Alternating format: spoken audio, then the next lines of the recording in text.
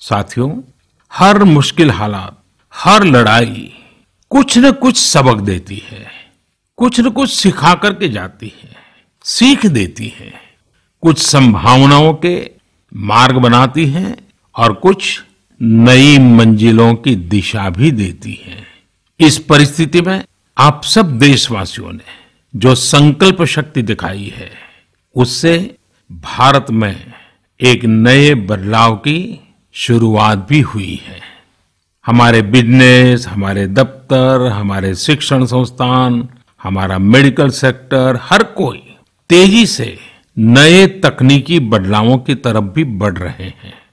Technology के front पर तो वाकई ऐसा लग रहा है कि देश का हर इनोवेटर नई परिस्थितियों के मुताबिक कुछ न कुछ नया निर्माण कर रहा है।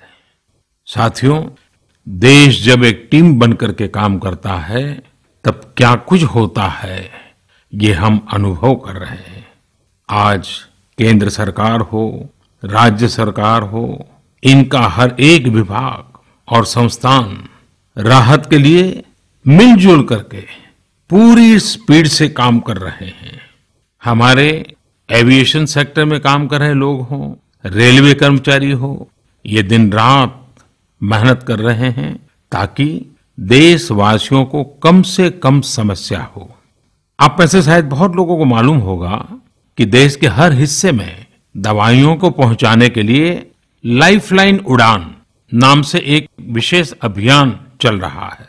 हमारे इन साथियों ने इतने कम समय में देश के भीतर ही तीन लाख किलोमीटर की हवाई उड़ान भरी है और 500 टन से अधिक मेडिकल सामग्री देश के कोने कोने में आप तक पहुँचाया है।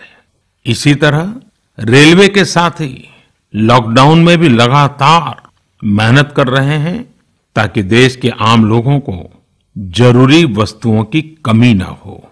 इस काम के लिए भारतीय रेलवे करीब करीब 60 से अधिक रेल मार्ग पर 100 से भी ज़्यादा पार्सल ट्रेन चला रही है। इसी तरह दवाओं की आपूर्ति में हमारे डाक विभाग के लोग बहुत अहम भूमिका निभा रहे हैं।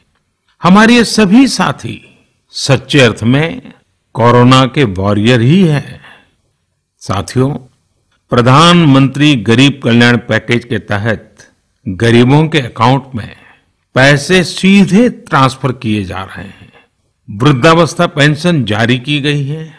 गरीबों को तीन महीने के मुफ़्त गैस सिलेंडर राशन जैसी सुविधाएँ भी दी जा रही हैं।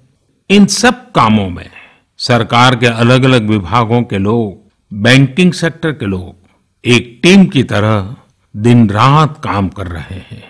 और मैं हमारे देश की राज्य सरकारों की भी इस बात के लिए प्रशंसा करूँगा कि वो इस महामारी से निपटने में बहुत सक्रिय भूमिका निभा रही है। स्थानीय प्रशासन, राज्य सरकारें जो ज़िम्मेदारी निभा रही हैं, उसकी कोरोना के खिलाफ लड़ाई में बहुत बड़ी भूमिका है। उनका ये परिश्रम बहुत प्रशंसनीय है।